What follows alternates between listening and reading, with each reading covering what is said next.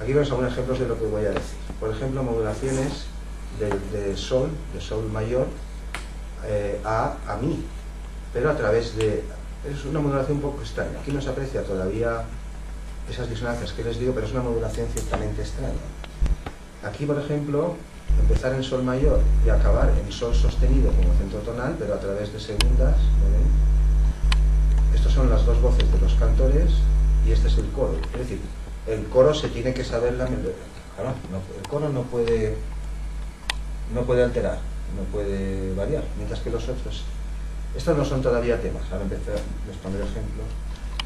Eh, mientras que esto que hay abajo lo que muestra son diferentes modos, cómo tratan ahí en estas tierras, en Georgia y en Epiro, y lo veremos hoy, los sistemas tonales, vamos a decirlo así. Por ejemplo, nosotros tenemos un sistema de octava, que es nuestra escala, pero eso es, digamos, la plantilla. Tengamos un sistema basado en la octava significa que estamos siempre dentro de la octava, para arriba para abajo, sino que hay muchas octavas, pero donde se condensa todo con una especie de tabla periódica o algo así, es en la Estos pueblos, por ejemplo, esta es la, típica, la que todos conocemos, de octava a octava, 7 grados, y la tónica es la misma, es decir, la octava es la misma que la tónica. Cuando yo vuelvo, vuelvo a llegar al do, ese do tiene un sentido cadencial, esté arriba o esté abajo, porque es do.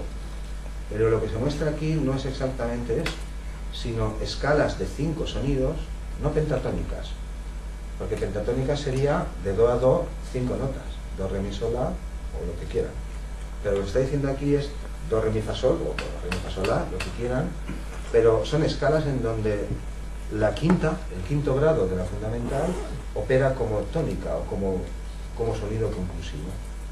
Eso no significa que están siempre cantando en esa canción dentro de esa quinta, como en nuestro caso.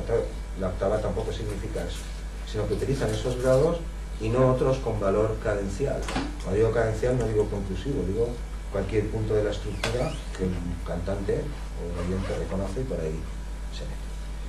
Eh, esta es algo parecido eh, con cuartas, o sea, con cuatro sonidos, pero no es que se completen, se pueden usar todas, pero digamos, las cadencias o los puntos estructurales eh, o, los conflictos tonales, estas cosas que en Occidente, identificamos como estructura armónica, se producen en estos puntos. Son diferentes formas de cantar, ahora escucharemos en un momento cómo suenan estas cosas.